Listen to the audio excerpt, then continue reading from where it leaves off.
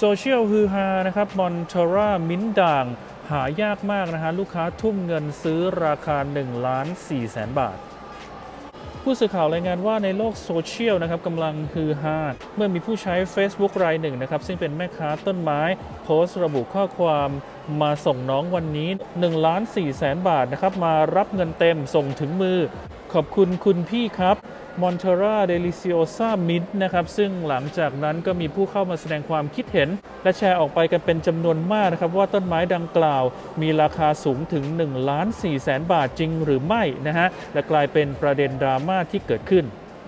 จากนั้นนะครับผู้สื่อข่าวจึงลงพื้นที่ตรวจสอบ ที่ร้านสวนปลูกรัก ภายในตลาดต้นไม้อินโดจีนการ์เด้นนะฮะตำบลสมอแขอำเภอเมืองพิษณุโลก พบกับนางวันนาอายุ 48 ปีนะครับเจ้าของร้าน และนางสาวชนัญญาหรือน้องดุ้นนะครับอายุ 19 ปี 2 แม่ลูก ซึ่งกำลังง่วนอยู่กับการดูแลต้นไม้หลากหลายพันธุ์นะครับอยู่ภายในร้านพร้อมเปิดเผยว่าร้านแห่งนี้นะครับตนกับครอบครัวเปิดมาเป็นเวลา 12 ปีแล้วนะและเพิ่งจะหันมาเล่นไม้ฟอกอากาศนะฮะลำไม้พันหายากประมาณ 2 ปี ซึ่งไม้ฟอกอากาศนี้นะครับกำลังเป็นกระแส และมีคนนิยมหันมาให้ความสนใจซื้อกันไปปลูกกันเป็นจำนวนมากนะฮะที่ร้านจะมีต้นไม้จำพวกมอนสเตอร่าซึ่งได้รับฉายาว่าเป็นราชินีแห่งใบไม้ที่คนนิยมนำไปปลูกประดับบ้านประดับร้าน เพิ่มความสวยงามดูดีมีสไตล์นะฮะแต่ต้นไม้มอนสเตอร่านะครับก็มีการจำแนกออกไปอีกหลากหลายพันธุ์ทั้งที่หาได้ทั่วไปและพันธุ์หายาก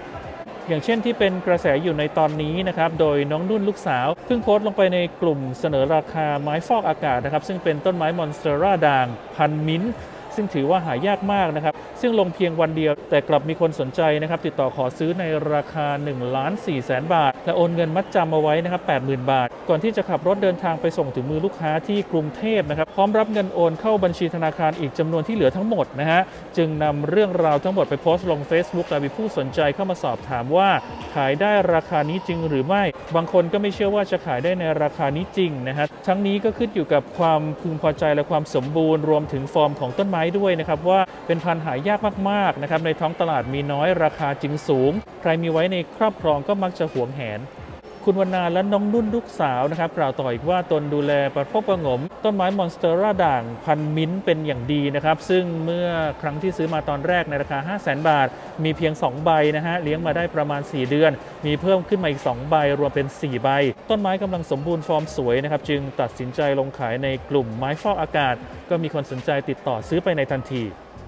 เรื่องนี้ไม่อยากให้เกิดเป็นดราม่านะครับว่าต้นไม้สามารถทำกำไรได้ และสามารถเลี้ยงครอบครัวได้ ถ้าหากเราศึกษาจริงๆนะครับมันก็เป็นอาชีพได้ คนซื้อไปบางคนนะครับก็ซื้อเอาไปปล่อยต่อเก็งกำไรบ้างนะครับทุกคนมีสิทธิ์ซื้อต้นไม้ตามความชอบตามความพอใจ ซึ่งที่ร้านนะครับก็ขายต้นไม้ตั้งแต่ราคาหลักร้อยหลักพันหลักแสน ไปจนถึงหลักล้านเช่นกันนะครับ ต้นไม้ไม่ใช่ของเล่นของพวกเศรษฐีนะครับทุกคนมีสิทธิ์รักต้นไม้เหมือนกันหมด ถ้าลองศึกษาวิธีการเลี้ยงต้นไม้เนี่ยก็อาจจะขายได้ในราคามากกว่าที่ตนขายก็เป็นไปได้นะฮะจึงอยากให้เล่นต้นไม้กันอย่างมีความสุขนะครับแต่เดี๋ยวก็มีข่าวขโมยต้นไม้มอนสเตอร่ากันเป็นจำนวนมาก จนทำให้ร้านต้องติดตั้งกล้องวงจรปิดเอาไว้นะครับไม่ต่ำกว่า 10 ตัวเลยทีเดียวเอาละครับเพื่อนๆ ปลูกต้นไม้กันเป็นงานอดิเรกเพื่อผ่อนคลายและมีความสุข ไม่ต้องคิดถึงผลกำไรอะไรกันมากมายนะครับเดี๋ยวจะปวดหัวกันเปล่าๆ นะฮะขอขอบคุณข้อมูลดีๆจากสนุก .com และขอขอบคุณทุกท่านที่ติดตาม ฝากกดไลค์กดแชร์กด Subscribe เพื่อเป็นกำลังใจกันด้วยนะครับเราเจอกันใหม่ในคลิปหน้าสำหรับวันนี้ สวัสดีครับ